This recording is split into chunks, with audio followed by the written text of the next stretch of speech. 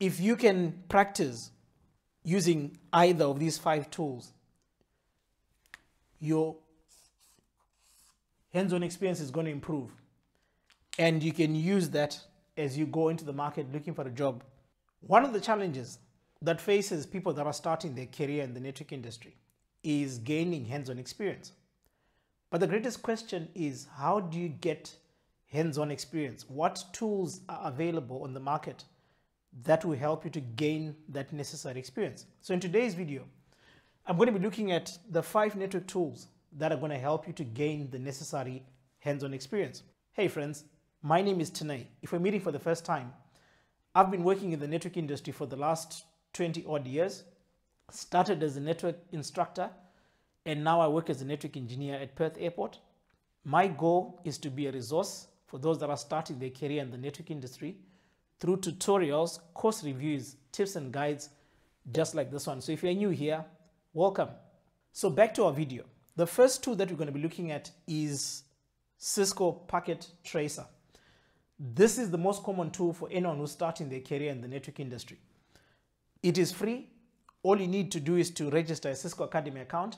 And when you register, you'll be able to get access to the exe file, which you can then install on either your PC or Mac. When you install this exe file, it comes with everything that you need. So there's no need for additional IOS images. It requires low resources. It can run on about two gigabytes of RAM. So this can run on a PC, it can run on a laptop, and it can run on an old computer because of the low resource utilization. The reason why Packet Tracer is very common and why it is the first tool for anyone who's starting their career in the network industry is because of its visuals. So when you open Packet Tracer, it looks something like this.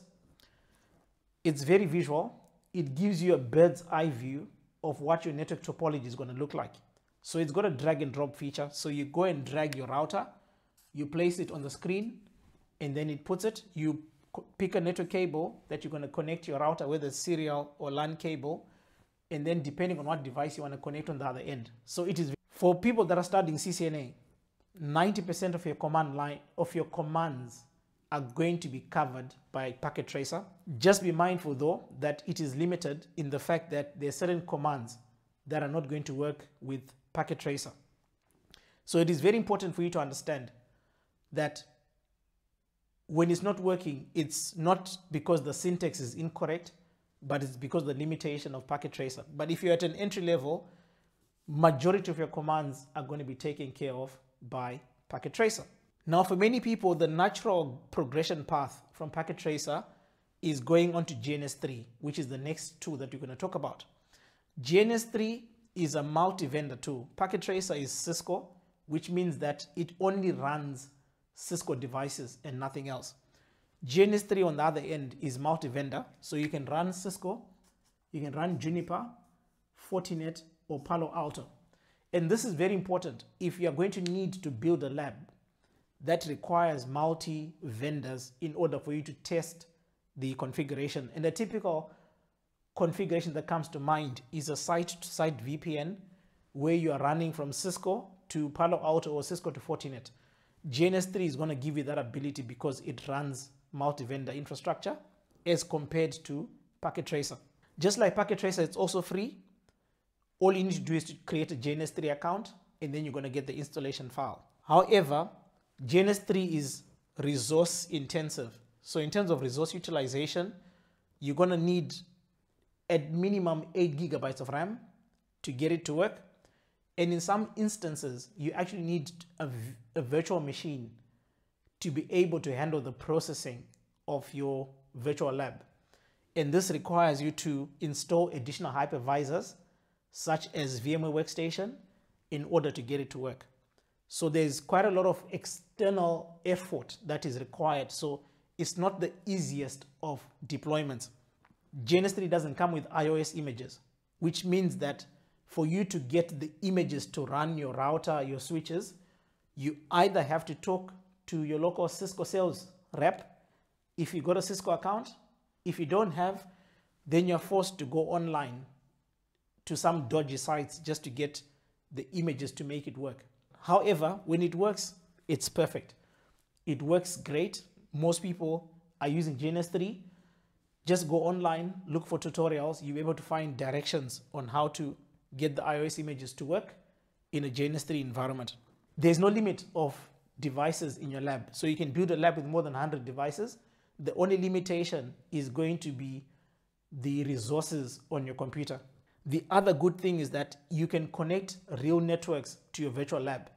So you can bridge your GNS3 network to your actual home network, which gives you access to other appliances such as Identity Services Engine, ISE, DHCP Active Directory. So you can get your virtual lab getting its IP addresses from a real DHCP server that is sitting on some part of the network.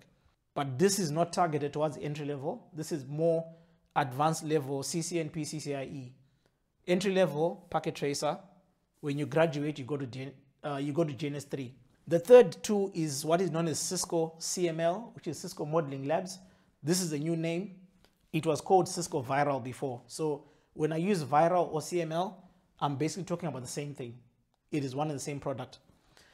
Similar to GNS3, however, it is Cisco and only runs Cisco images. So you can't run Juniper or Fortinet or Palo Alto, only Cisco images.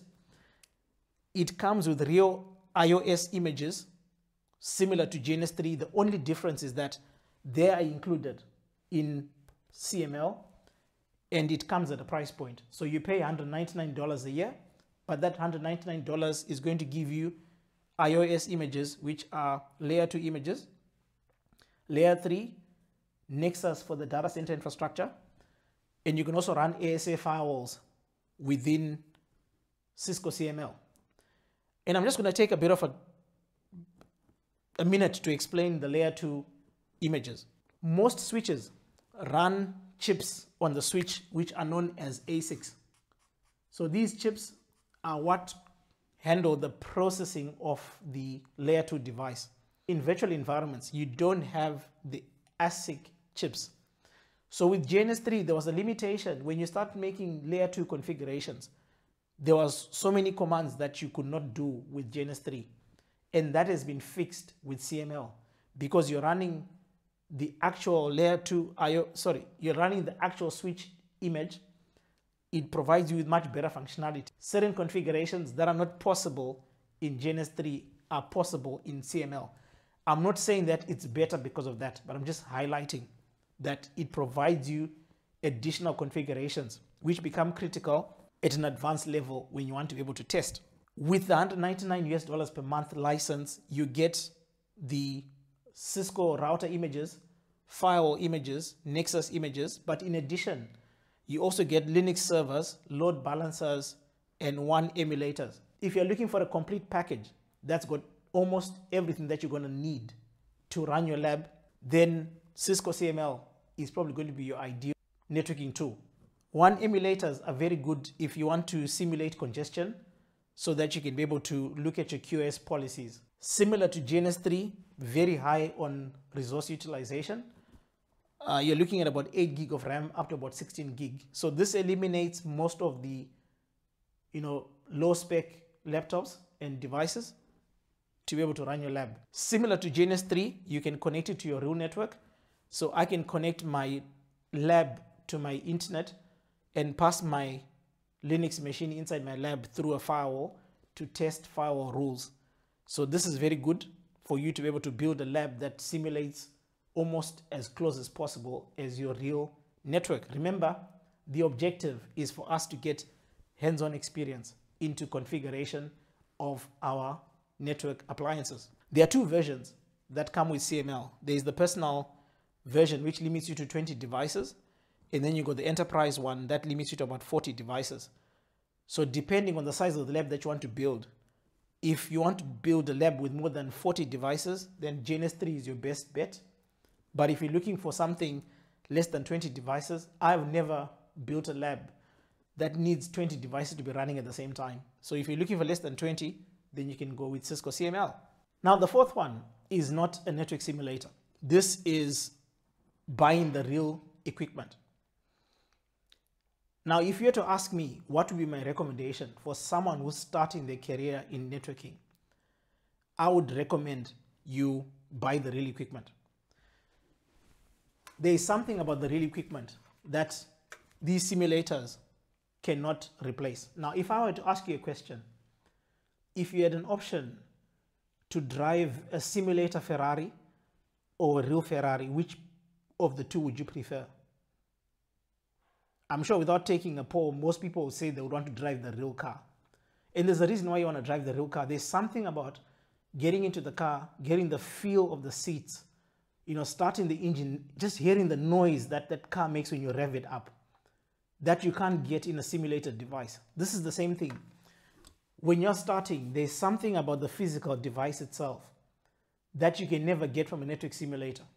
So I always encourage people, if you can, go and buy the real device because the real device is going to give you the necessary experience and confidence in working with Cisco e equipment way more than any of these simulators can give you. So why would you need to buy the real equipment? There's a feeling about just, you know, touching a real Cisco device, you know, looking at the ports at the front, looking at the SFPs, the console port, the micro USB, turning on the device and just seeing the light and the noise that the device makes when you're turning it on. It's something that you need to experience when you're starting your career. So I would actually encourage people, if you can, buy the real device. Now, if you go online, sites such as eBay, they've got CCNA kits that they sell. In these kits, sometimes they come with two routers, two switches, and they've put a package together. And inside that package, you've got the network cables that you're going to need. So you're going to have the LAN cable. They usually provide the serial one cable that allows you to connect two routers together to simulate a WAN link. And then you also have the console cable, which then allows you to then configure the particular device. And these kits usually go for about $500. The objective is less about the latest model of the switch, even though the higher the model of the device, sometimes the better the functionality. So there's certain things that you can't do on a lower spec device that you can do on a higher spec Cisco router or Cisco switch. But if you are starting just consoling to the device, just powering the device, just get it to work, configure it for the first time, upgrade it, wipe the entire config, configure the device, frustrating as it might be, there is a significant amount of learning that is involved. And that is why if I have my way, try and get yourself physical equipment at the beginning.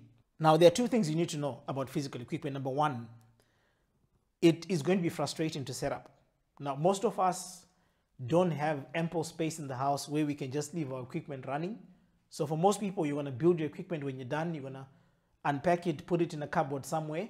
And the next time you want to use it, you have to then power it on, get it up and running. Sometimes you forget the password. And that takes too much time in just trying to set up before you can even start the configuration. So it's not the easiest to set up and it can be a bit frustrating. So people avoid physical devices for that reason. The second one is that you've got limitations in the size of the lab that you can build. If you're going to have two switches and two routers, it means that the best you can do is a two router and a two switch lab. The moment you need three routers, you're going to need another additional device, which you don't have. So be mindful that the size of your lab is going to be dependent on the number of physical devices that you have. And then the last one, and I'll speak for myself, 90% of the things that I want to do, especially when you go advanced, you're not so concerned about the physical device. If I want to configure BGP between two devices, I'm not so concerned whether I'm running it on a physical router or not. All I want is to test configuration and maybe policy routing or route filtering. I really don't care if it's virtual or physical. So in that case, the virtual tools are going to give you a much better experience because I'm interested in just bringing up BGP as quickly as possible. So the higher you go, the need for physical devices is going to diminish for that reason. But there are some people who need the physical devices, and this is for CCIE. But if you're CCIE, then this video is not for you. This video is targeted towards people who are starting their career in networking. But if you're a CCIE, there's sometimes you might, you might want to run Nexus commands, such as VPCs, that are not available in your simulated environments, that a physical appliance is probably going to give it to you. But that's when you need it. And then the last two that we're going to look at is EVE-NG. EVE-NG and GNS3 are almost identical. They are all multi-vendor. They, they are free. They use almost similar resource utilization. Images are not included. You have to buy or find your way to get images and they all connect to real networks. So your choice between EVE-NG and GNS3 is probably going to be a preference on which of the two vendors you know works better for you. But GNS3 and, and, and, and EVE-NG, one and the same thing. CCNA and below, entry level, Packet Tracer is the best tool. It's going to require the least amount of effort to get it up and running, and it's going to give you more than what you need in order for you to practice. When you have graduated from Packet Tracer and you want more advanced commands, GNS3 and EVE-NG are probably going to be your next step. And depending on what it is that you want to accomplish, then you can probably use Cisco VIRL and the real equipment. Now I have these four in my in my lab. Packet Tracer, I rarely use it. GNS3 and Cisco VIRL are my go-to providers. If I'm looking for ASA firewall, Nexus commands, load balancers, WAN emulators, then Cisco VIRL is probably my preferred path. And in some situations, I might go for GNS3, but usually I'm using this. Real equipment, I have real equipment in the house, but I rarely refer to it for that one simple reason that 90% of what I'm doing is less to do with the actual equipment, but more on the commands and the configuration of what is on that equipment. So let me know in the comments below, which tool are you using and what has been your experience in either of these tools? I'm going to put links in the show notes below or in the comment section so that if you want to use one of these tools, you can go to the website, download, install it. And yeah, and let me know what's your experience. What did you like about the tool? What is it that you didn't like? And once again, I hope you found value in this video in looking at the five network tools that will help you gain hands-on experience. If you can practice using either of these five tools, your hands-on experience is going to improve. And you can use that as you go into the market looking for a job. Remember, employers are not only looking for real equipment, they are looking for configuration of the appliance. And these tools give you that ability for you to be able to configure. So once again, thank you for watching and I'll see you in the next one.